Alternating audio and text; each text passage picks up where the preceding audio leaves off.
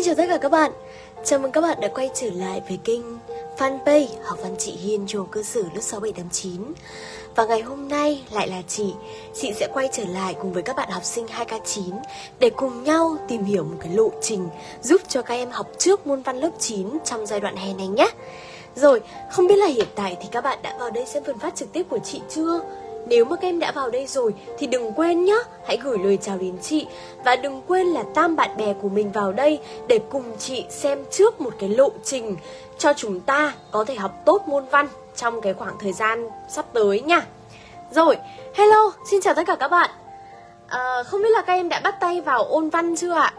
Ở thời điểm hiện tại thì chị thấy rằng là có khá nhiều các anh chị học sinh 2K8 đã thi và đang thi cái kỳ thi rất là quan trọng đó là kỳ thi vào 10 rồi. Không biết là ở trong này những anh chị học sinh 2K8 nếu mà có đang xem phần phát trực tiếp của chị thì có thể chia sẻ với chị một chút là các bạn đã thi vào đề nào không ạ? Không biết là cái đề văn 5 điểm của các em á, các em đã thi vào những tác phẩm nào rồi? Các em đã thi vào những văn bản nào trong chương trình ngữ văn lớp 9 rồi?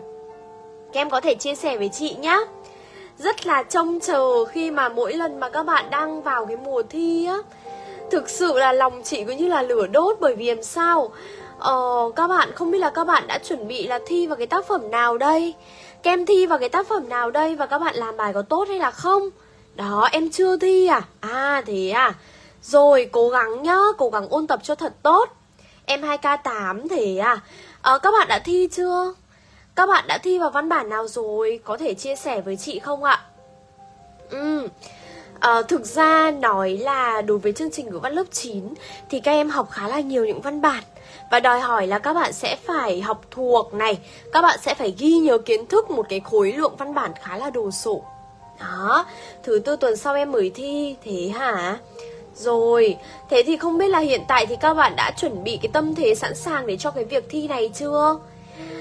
À, chia sẻ nếu mà các bạn đã thi rồi thì các bạn có thể chia sẻ một chút những cái bí kíp ôn thi cho các em 2009 nhá. Hiện tại thì chị thấy khá là nhiều các bạn học sinh 2K9 đang ở trong này. Và chị mong rằng là các anh chị 2K8 nếu đã thi rồi Các anh chị có thể chia sẻ một chút những cái tip để ôn thi, ôn luyện thật tốt cho các em 2K9 nha à, Các bạn 2K9 thì năm nay khá là bỡ ngỡ đúng không? Chưa biết là mình sẽ phải học những văn bản nào chưa biết rằng là mình sẽ phải học như thế nào để có thể hiệu quả nhất. Sắp đến thi rồi mình nên ôn như thế nào? À, Đối với các bạn học sinh 2K, 2K8 thì ở thời điểm hiện tại chị nghĩ rằng là các bạn không nên ôn nhiều nữa. Bởi vì sao? Khá là sát nút rồi. Các bạn mà cứ ở trong một cái tâm thế là à mình phải dồn thật nhiều kiến thức vào Mình phải ôn thật nhiều kiến thức lên Thì nó sẽ khiến cho các bạn kiểu như là sao tàu hỏa nhập ma đấy không ôn được nữa đâu. Mà chị nghĩ rằng là các bạn nên đọc lại những cái kiến thức mà mình đã có rồi. Đó nên đọc lại nhá. Đừng bây giờ đừng ép bản thân là phải ôn là phải bắt bắt nó bằng được là mình phải học. Thì nó sẽ không vào được nữa đâu. Mà các em hãy đọc lại đi. À, xem lại một lượt những cái kiến thức mà các thầy cô đã cung cấp cho mình đó, xem lại một chút những cái kỹ năng mà các thầy cô đã trang bị cho mình để có thể xử lý được đề thi. Chị nghĩ như vậy là ổn rồi. Còn ở thời điểm hiện tại mà bảo các bạn là học những cái kiến thức mới rồi học thêm uh, những cái phần liên hệ mở rộng Học được bao nhiêu thì tốt gần ý thì chị nghĩ rằng là không nên Bởi vì sao? Kinh nghiệm nhá Cái kinh nghiệm chị đã được Chị đã dạy và chị đã hướng dẫn các bạn học sinh ở uh, khóa 2006, khóa 2007 thì chị biết rằng là sao? Cứ đến cái giai đoạn cuối cùng này này các bạn luôn có một cái tâm lý là gì ạ?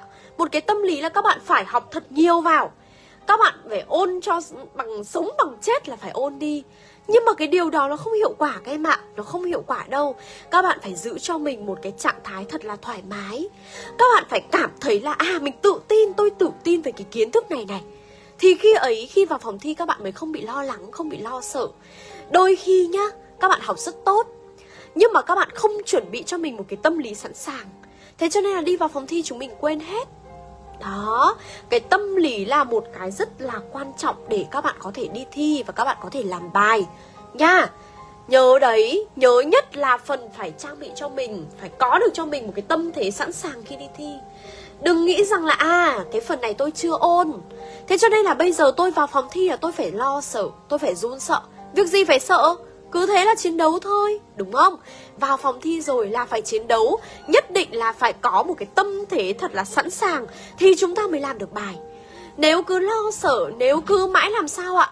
À lo lắng là mình không làm được, thì làm sao mà các bạn làm được tốt cái bài thi ấy, đúng không? Nhá, đấy là một chút những cái chia sẻ dành cho các bạn học sinh 2K8 mà các em chuẩn bị bước vào kỳ thi đó, còn trong buổi ngày hôm nay thì chị sẽ dành thời gian cho các bạn 2K9 để nói một chút về những cái kiến thức mà các bạn học sinh 2K9 sẽ phải học trong cái năm học sắp tới. Đó, trong năm học sắp tới.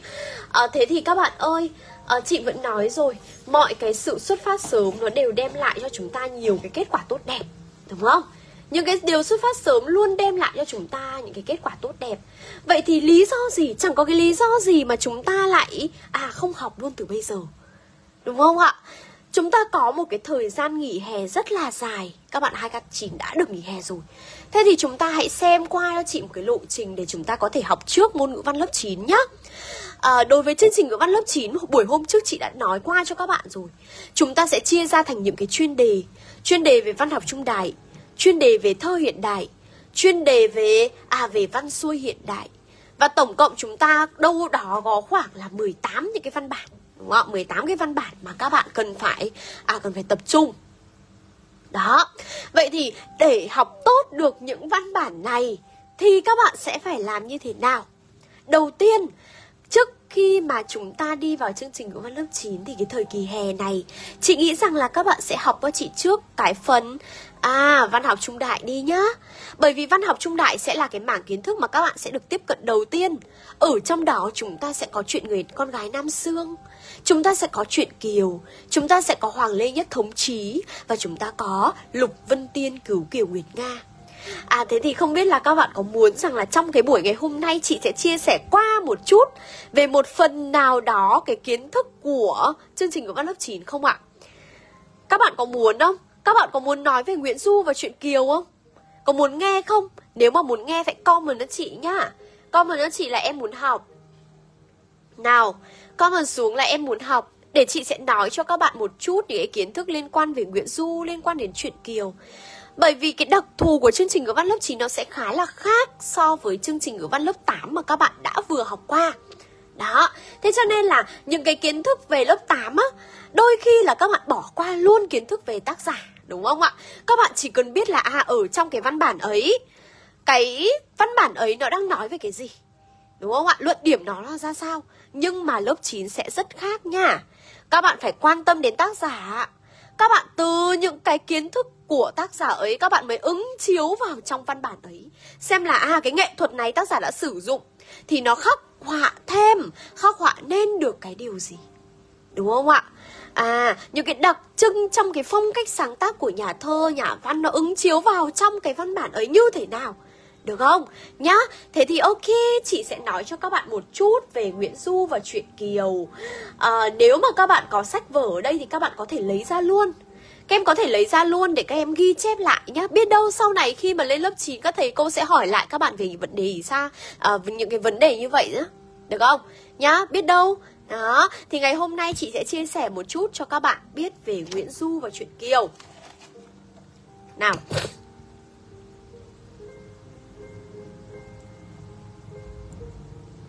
Nguyễn Du và chuyện Kiều. À vậy thì tiết lộ cho các bạn một cái bí mật này. Tiết lộ cho các em một cái bí mật. Đó chính là chuyện Kiều tên của nó không phải là chuyện Kiều đâu ạ. Nha. Nhớ nha, chuyện Kiều tên của nó không phải là chuyện Kiều Mà tên mà tác giả đặt đó là gì? Là à, Đoạn trường Tân Thanh. Đoạn trường Tân Thanh. Đây mới là cái tên thật này. Được không? Đây mới là tên thật của của tác phẩm, của văn bản. Còn chuyện Kiều á À, vì đây là cái câu chuyện mà nói đến cái cô Thúy Kiều. Đúng không ạ? Nói đến cái cuộc đời gọi là ba chìm bảy nổi lênh đênh của, của cô Kiều Thế cho nên là tục người ta vẫn thường gọi nha Đây chính là cái tên tục gọi thôi Là cái tên thường gọi thôi Các cụ chúng ta gọi thôi Là chuyện Kiều thôi Còn cái tên của văn bản phải là đoạn trường Tân Thanh À, được chưa nào? Là đoạn trường Tân Thanh. Thế thì cái chuyện Kiều này ở trong chương trình ngữ văn lớp 9 các bạn sẽ được học ba cái đoạn trích. Các bạn sẽ được học những cái đoạn trích sau này. À, đoạn là chị em Thúy Kiều. Chị em Thúy Kiều. Rồi, tiếp đến là gì? Cảnh ngày xuân. Cảnh ngày xuân. Đó, tiếp là Kiều ở lầu ngưng bích. Đó, đây chính là ba đoạn trích tâm điểm trọng tâm được không ạ? Của của chuyện Kiều mà chúng ta sẽ học trong chương trình ngữ văn lớp 9 nhá. Thế thì à, chúng ta thấy rằng là ở trong này Nguyễn Du sẽ khắc họa hình tượng nhân vật cô Kiều. Đó, sẽ khắc họa hình tượng nhân vật cô Kiều. À, Thúy Kiều thì không phải là một con người bình thường mà là một nhân cách, một thước đo, một nguyên lý để mọi cái giá trị thực hay là giả của đời sống khi đối chiếu với nó hay soi mình vào nó sẽ bộc lộ tất cả cái bản chất tuyệt vời cao đẹp đúng không ạ? À, chúng ta thấy là ở trong cái xã hội ấy có cái cao đẹp có cái xấu xa đúng không ạ? Chẳng thể nào mà ngụy trang che giấu được và nhà thơ Nguyễn Du đã đặt nhân vật Thúy Kiều vào trong một cái xã hội giống như là xã hội nhà thơ đang sống. Có nghĩa là à văn học nó phản ánh lại cái xã hội đó, đúng không ạ? Nó phản ánh lại cái xã hội đó. Thế cho nên là ông sống trong xã hội đó, ông theo dõi, ông chứng kiến và cuối cùng với tất cả những cái bằng chứng không thể chối cãi được. Và nhà thơ đã thét lên là gì? Hãy cứu lấy con người, hãy cứu lấy phụ nữ. Ông nói là sao? Đau đớn thay phận đàn bà. Đó, lời rằng bạc mình cũng là lời chung. Đó, ông đã đặt ra một cái vấn đề đấy. Đặt ra một cái vấn đề để bắt đầu à đi vào phân tích. Đúng không? Thế thì đối với cái đoạn trích chị em thúy kiều này này. Đầu lòng hai ả tố nga. Thúy kiều là chị, em là thúy vân đúng không? Thế thì ngay từ cái lúc mở đầu là bắt đầu nhà thơ đã giới thiệu rồi đã giới thiệu về cái gia cảnh cái hoàn cảnh gia đình của chị em thủy kiều rồi. Đó. À, rồi sao nữa? Đây là một người con gái đây là một người con gái chúng ta thấy rằng là à, đối với trong các cái chuyện thơ nôm Việt Nam chuyện nôm Việt Nam thì nhân vật phụ nữ chính diện thường được giới thiệu là đẹp và có tài tài và sắc thường là cái công thức để diễn tả nhân vật phụ nữ trình diện của các nhà thơ. Đó thế thì Thúy, Thúy Kiều của Nguyễn Du cũng là một người phụ nữ có tài có sắc như vậy. Ông nói là gì?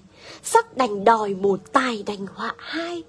Nhưng mà cái khác của Nguyễn Du á, là cái tài sắc của Kiều không phải một công phẩm của à của thanh tâm tài nhân nó không phải là y nguyên như trong cái gì ạ? Trong cái tác phẩm của thanh tâm tài nhân. Nhá mà thúy à, mà nguyễn du đã có cái sự biến đổi. Đã có cái sự cách tân đúng không ạ? Đã có cái sự biến đổi. Thế cho nên là ở trong này nhà thơ đã cực tả cả vân và cả kiều. Để rồi làm sao ạ? Ông có những cái vần thơ như là gì? À, cung thương lầu bực ngũ âm nghỉ riêng ăn đất hồ cầm một chương đó. À, rồi ờ, đây là những cái con người tuyệt đỉnh về tài sắc. Đồng thời nhá họ còn là những cái con người rất là hồn nhiên và trong sáng. Em đềm trướng rủ màn che tưởng đông ong bướm đi về mặc ai. Bên cạnh cái tài sắc đặc trưng cho tính cách của thúy kiều còn là cái ý thức làm người của à của những cái con người phụ nữ trong xã hội phong kiến đó thấy không ạ? Nhá nhưng mà sao? Nhưng mà sao? Uh, dường như là họ chẳng có một cái cuộc sống êm đềm gì cả. Mọi cái yếu tố ở trong thủy uh, chị em thủy kiều chúng ta thấy là gì? Tác giả có viết rất là nhiều trong cái văn bản chị em thủy kiều này. Um, đầu tiên là gì? Đầu lòng hai ả tú Nga, Thúy Kiều là chị em là Thúy Vân. Mai cốt cách tuyết tinh thần Mỗi người một vẻ mười phân vẹn mười. Đến Thúy Vân thì sao? Vân xem trang trọng khác vời. Khôn chăn, khôn trăng đầy đặt nét ngài nở nang. Hoa cười ngọc thốt đoan trang. Mây thua nước tóc tuyết nhường màu da. À đấy là đang nói về cô Vân đúng không ạ?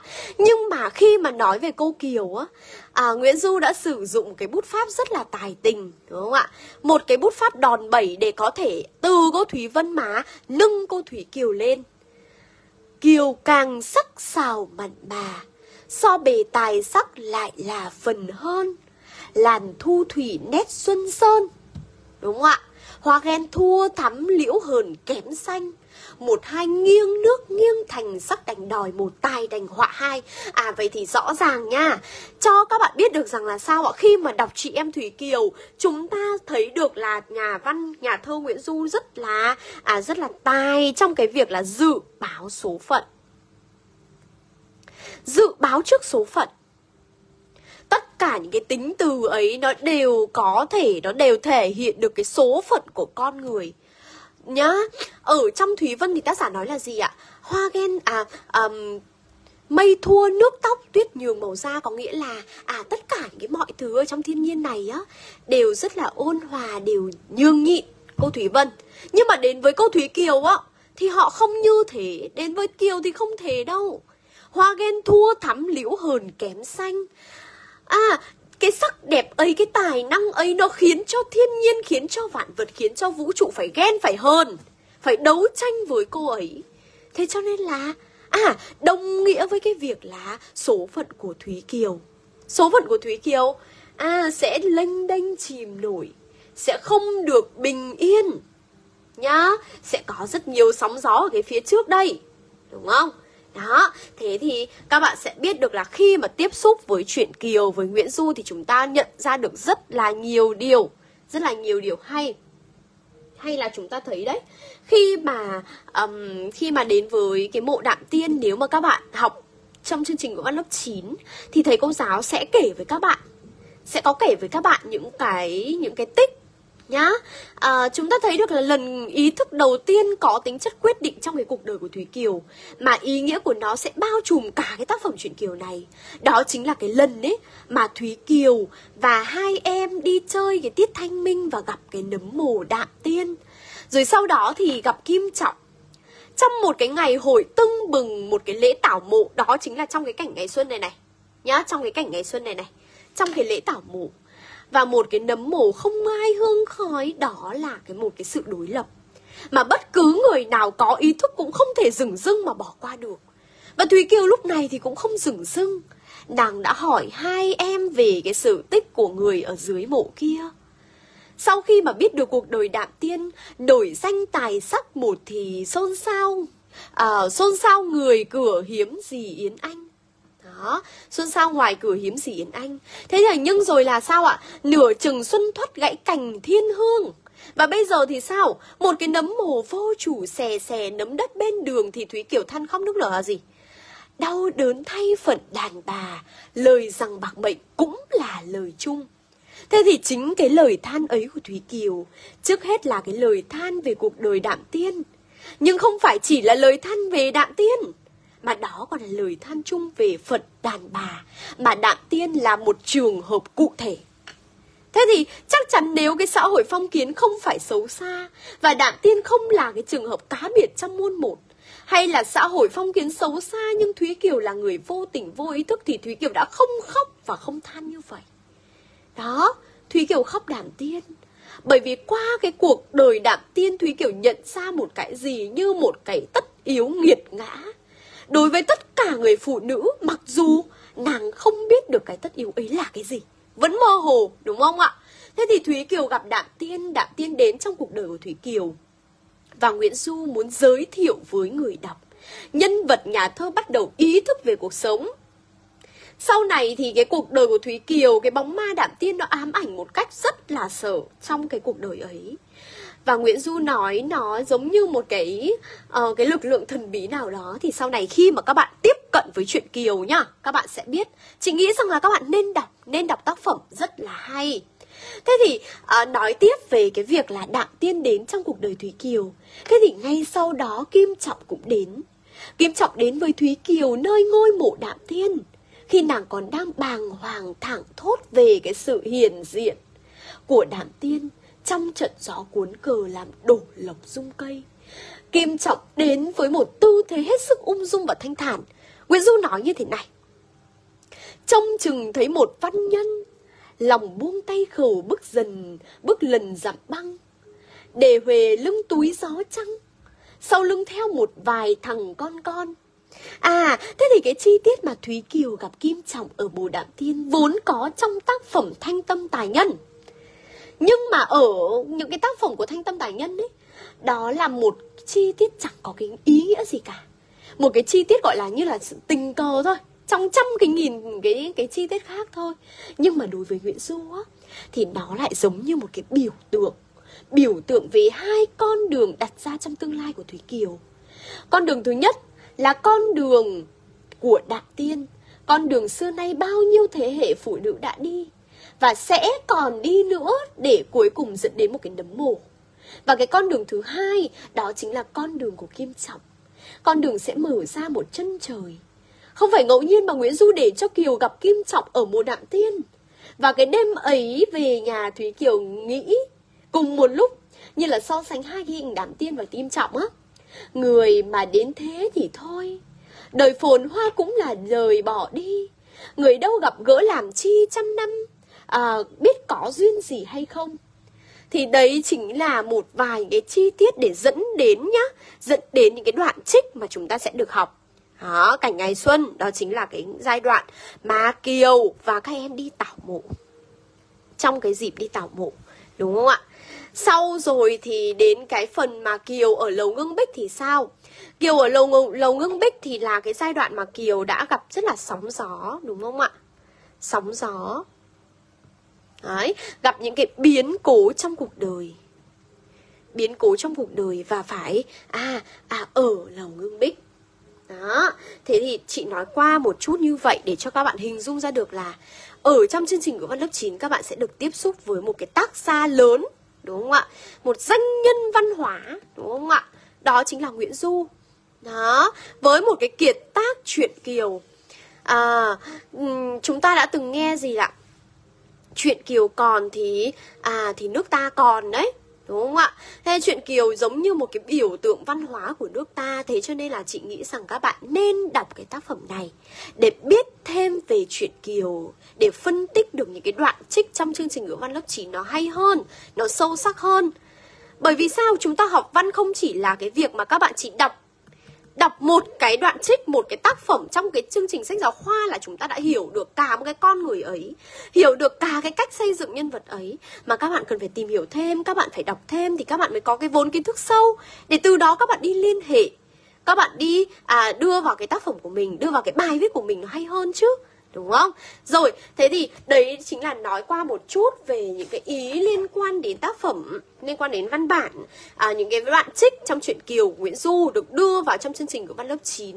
Thế thì à, ở thời điểm hiện tại nếu mà các bạn học sinh 2K9 đang muốn xuất phát sớm, đang muốn học sớm thì các em có thể nhìn cho chị một cái lộ trình học ở đây một cái lộ trình học ở đây Và đừng quên nhá Hiện tại thì học văn chị Hiên đang tuyển sinh các bạn học sinh ờ, uh, 2K9 để có thể học những cái lớp xuất phát sớm các bạn có thể ôn luyện sớm, các bạn có thể học trước kiến thức cơ bản của chương trình ngữ văn lớp 9 phục vụ cho chương trình ôn thi vào 10. Và chị cũng đã ghim cho chúng ta một cái đường link về khóa học văn viết lớp 9 này rồi. Nếu mà các em còn thắc mắc hay là muốn tham khảo hay là muốn băn khoăn uh, có tất cả những câu hỏi dành cho khóa học cho các bạn lớp 9 ôn thi vào 10 thì các em có thể nhắn tin về bếp nhé. Em có thể nhắn tin trực tiếp về bếp để các anh chị có thể tư vấn cho các em Để hướng dẫn cho các em một cái lộ trình học Ok không nào? Nha Còn bây giờ thì à, chị nghĩ rằng là ngày hôm nay chị lên đây và gặp gỡ các bạn à, Một chút xíu như vậy thôi Và buổi hôm sau thì chị sẽ đi trọng tâm vào một tác phẩm cụ thể Một văn bản cụ thể Đồng ý không ạ? Buổi sau thì chị em mình sẽ cùng nhau đến với những cái văn bản cụ thể, những văn bản đầu tiên trong chương trình ngữ văn lớp 9 để các bạn có thể tiếp cận sớm được với chương trình này nhé. Rồi, rất là cảm ơn các bạn vì ngày hôm nay đã vào đây cùng với chị và hẹn gặp lại các bạn vào những cái buổi phát trực tiếp lần sau nha. Bye bye!